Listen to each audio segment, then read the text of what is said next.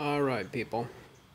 So this is not a how-to, but it's how miserable uh, replacing the clutch master cylinder or the clutch pedal is. So let me show you where the connection is for the master cylinder and where you have to get all the way down to. So the master cylinder comes through right under there. And it's two little black hoses, I guess you could call them, on the other side of uh, well, all the ABS stuff. So that's pretty deep in there, as you can see. Again, and we're talking about this line, this one here, where that goes up to. So up under there, there's one there, and there's one right above it, this guy. Um, so goes to the reservoir, down, the master cylinder is just on the other side of that.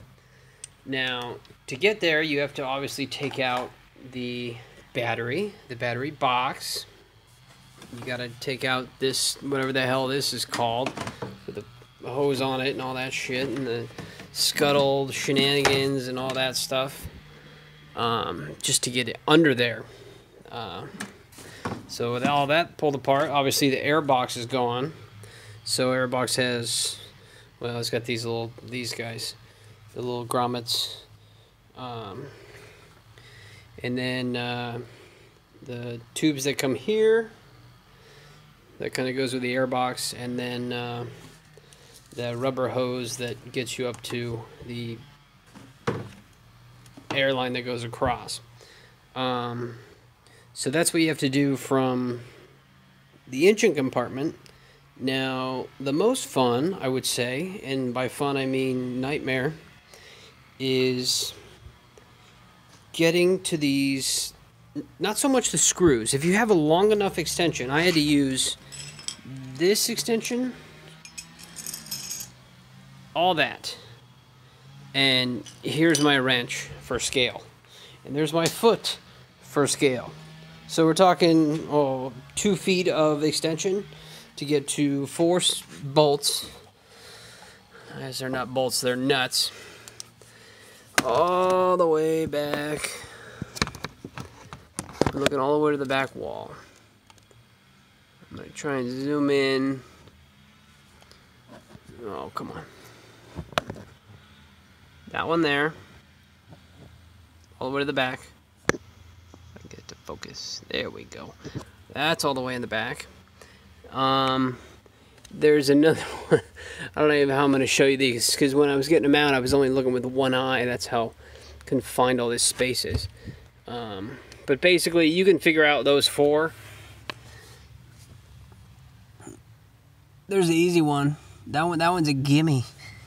Um, and there's one above there.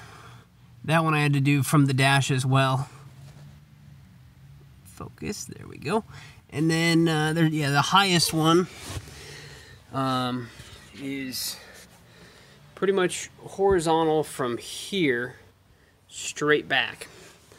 Um, I can't exactly show you that one because like I said I can only see it with one eye but here's what I replaced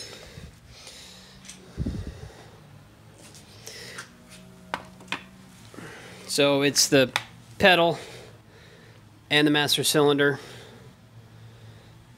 all that good stuff the the funnest ones is uh, of course this top guy which is way up there um, now the other part that really sucks is there's a clip that goes into here. Actually, I can grab the clip.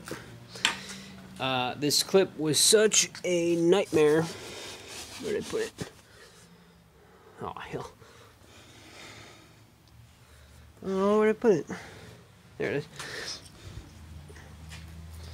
So the clip, if you try to install it beforehand, it's fairly simple. You have these two little guys and then it kind of hooks in with that top part.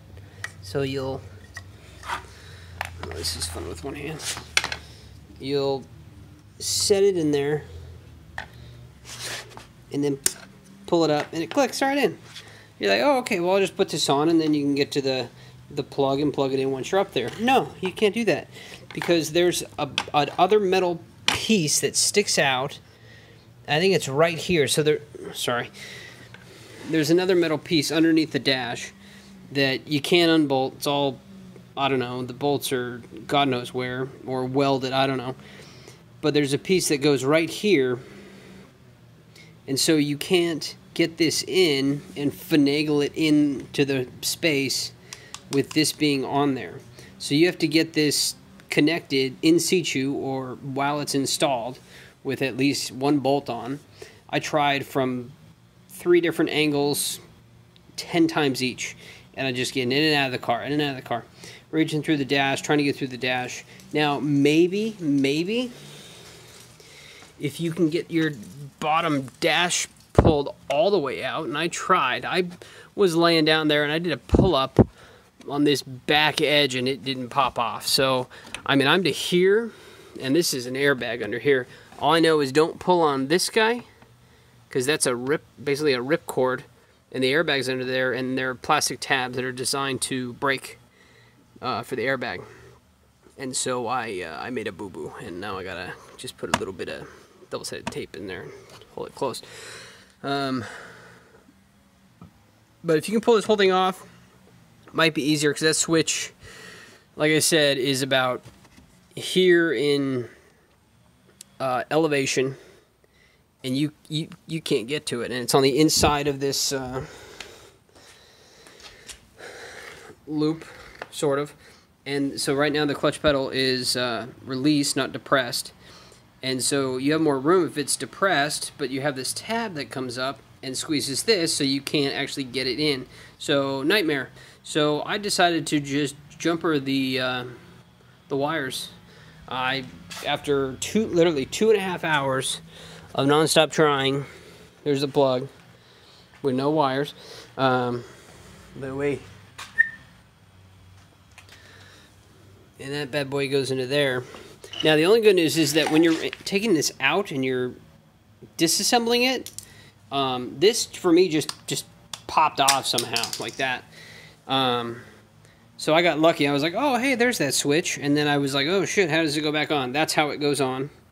Uh, here's the switch. You don't have enough cable to get it in. You can't get to it. It's just nightmare. So I, I fucking clipped them and uh, put some tape on them. I you know wound them up and put some tape on it. So that's what I ended up doing. So if you're thinking about replacing your own, this is by far the most difficult project I've ever done on a vehicle.